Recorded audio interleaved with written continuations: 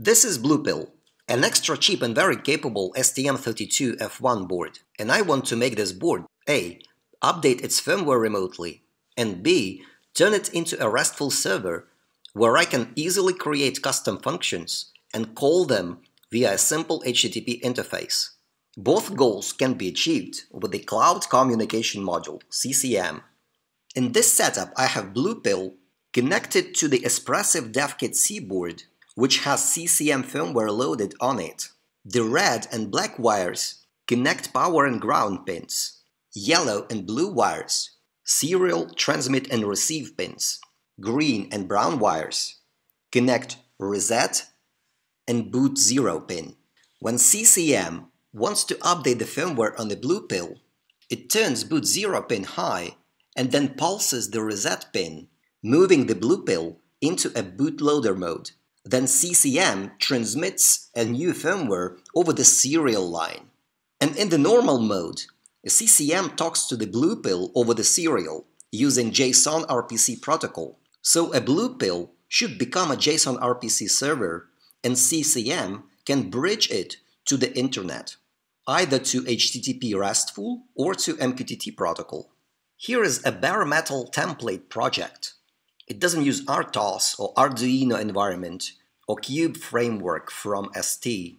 The only thing it uses is a CCM client library called mjson, which implements JSON RPC functionality. Let's take a look at the code. The main function initializes a built-in LED, initializes UART1 serial interface, initializes JSON RPC library, and then executes a super loop, blinking an LED every certain number of cycles. The JSON RPC library exports two built-in functions, rpc.list, sys.info, and a custom function, setCycles, which can change blinking interval. The next step is to configure CCM to connect to the m-cloud service, which can map all JSON RPC functions exported by the blue pill to the RESTful endpoints. Also, m can provide OTA, a remote update. Log into m click on Add New Device to register a new device, execute MOS Wi-Fi network name and network password to set up Wi-Fi on the CCM module and get internet access. Now click on Access Token to copy it to the clipboard and execute mos config-set dash.enable equals true and dash.token equals your access token. Now we see that CCM module comes online. Execute make zip. This creates a firmware bluepill.zip. And now we can update Bluepill over the air. Click on My Device, click on OTA Update, click on Choose Firmware Zip File, and choose bluepill.zip and click Open.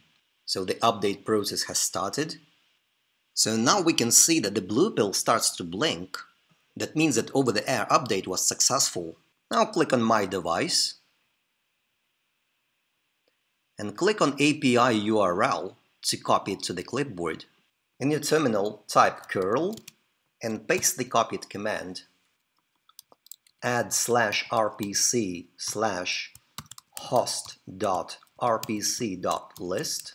This RESTful call calls rpc.list service on your blue pill.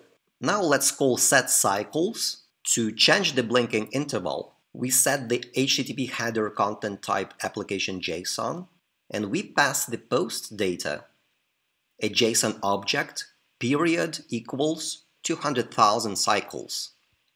And in the URL, we specify host.setCycles function. Press enter. Now we can see that the blue pill starts to blink slower. That means that with this RESTful call, we have passed a command to the blue pill. Similarly, CCM can bridge functions to the MQTT, to custom MQTT server or to one of the well-known services like AWS, Azure, or Google IoT or IBM Watson. But this is subject of another video. Thanks for watching.